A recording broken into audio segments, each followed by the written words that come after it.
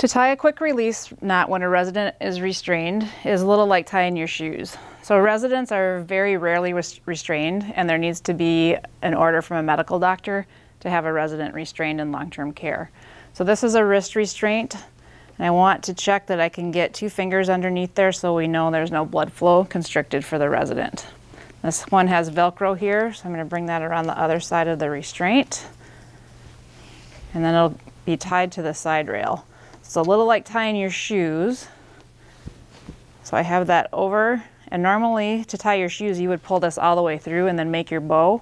For a quick release knot, I'm just gonna pull that through with the loop. So the resident is not able to harm themselves with their hand, but we can just pull here and release that in case there's an emergency. So there's lack of blood flow or there's a fire alarm or something where the resident needs to get out of bed.